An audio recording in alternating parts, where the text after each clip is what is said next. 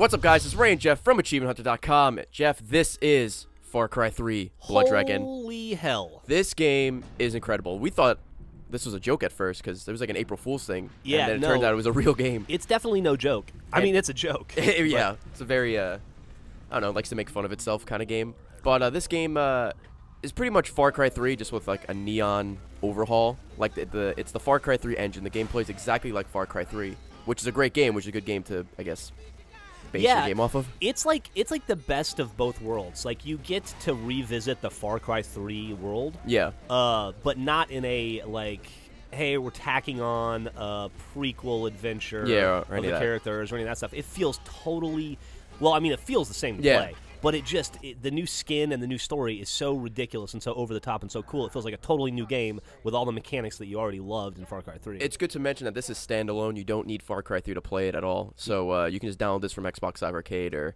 Yeah, uh, on like Steam or anything. It's- it's 15 15, bucks. yeah, Yeah. 1200 Microsoft points. And uh, yeah, we've been playing it all day. So let's go. Uh, let's go through some achievements so we can get back to playing it. okay. The first two achievements we're going to talk about are Blood Dragon Down for 20 gamer score and Dragon Slayer for 20 gamer score, which is to kill your first dragon and kill 25 dragons. And as expected in a game called Far Cry 3 Blood Dragon, there are dragons, and uh, they fuck you up. They're really, really tough to take down. They shoot lasers. They shoot their eyes. lasers out of their eyes. And something cool they do is uh, they kind of glow, so it's like uh, green is uh, they're not hostile. Right. Uh, yellow is they're like searching for you, and red they're full on hostile, which is kind of reminiscent of the Metal Gear Solid like radar, Right. flashing colors and, And stuff. then you can do a cool mechanic, like in Far Cry 3 Uh, you could do a thing like when because this game is all about outposts. Mm-hmm. yeah, like Far Cry 3 and this game they're called uh, garrisons. garrisons. Yeah, you in Far Cry 3 you go to an outpost and there's like a tiger in a cage. Yeah, tiger or bear or something. Shoot the cage open, and then the tiger will then fuck up everybody in the outpost, and you don't have to deal with anything. Yeah. you just have to not get killed by it. This is very similar, but in this game the mechanic is every time you kill an enemy, you can rip their heart out. Yeah. and like their cyber heart, and then the dra- dragons love cyber Yeah. hearts. I don't know if you know that. Yeah, and uh, it's like candy to them. And then so you just throw it in a direction, and the dragon follows it, and then he just fucking lays waste. Yeah, and there's like a, I guess like a laser gate guarding each garrison. So and the uh, the dragon can't get through it. So if you uh, either blow up the generator or deactivate the switch, they just go right in and do the same thing. Yeah. So it's crazy. Uh, next uh, two achievements we're gonna talk about are just the tip, which is the achievement of the week for 15 gamer score, and set them free. So just the tip is to kill a dragon with the bow. Uh, I just filmed the uh, a guide for that. Turns out the last hit only needs to be a bow, which is good. I figured, So you can fucking whittle it down with everything else. And then the brain cages are some dragons are like associated with the enemy, so you'll see them hanging out around garrisons, and they have like a little, I guess, brain cage on their head. It's like a little red helmet, and you shoot it off, and then they go up against whatever. So Okay. it's not just targeting you. So it's really really cool. Next team we're going to talk about is Murder Nature, which is to kill all the animal types for 30 gamer score, and Way to Go Garrison for 20 gamer score, which is to finish all the garrisons. Do you know how many animal types there are?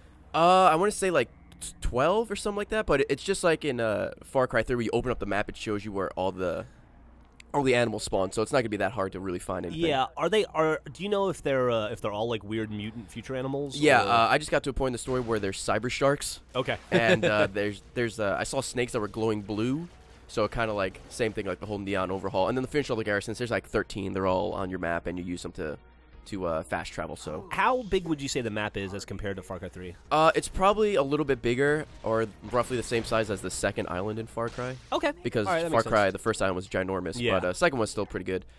The next team we're going to talk about is Derp for 20 gamer score, which is jump down from 50 meters. Um, maybe you'll get this later in the game. I got this by just jumping off a cliff pretty early on. Yeah. So I filmed it. I'll show you a quick way to get an easy 20 gamer score. So uh, yeah, just you're, you're, you're gonna die, but it's 20 gamer score, so it's worth it.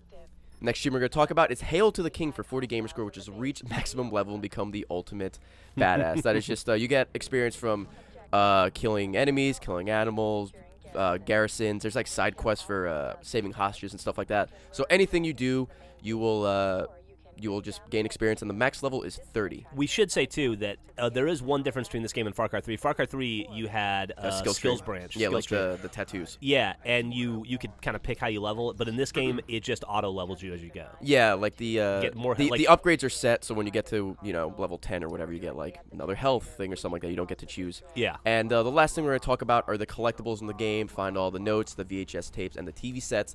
Now, normally I would say that sucks, but just like Far Cry 3, uh, you can buy maps, and then they just show up on the Okay. on the on the on the mini map. Saves And- us from having to make a map. That's yeah, awesome. exactly. And if you if you don't have the map and you come close to say a VHS tape, it'll show up on the map. So Okay. it's, it's not that bad. Also, there are uh, you can upgrade your weapons in this game, but it's the same thing. You don't get to really like choose. You just do certain goals, and it's like, hey, that's it. Like you don't have to like skin sharks or something. Right, you just have to like get a certain number of headshots or something like that. Yeah, a certain number of headshots, finish challenges, and stuff like that.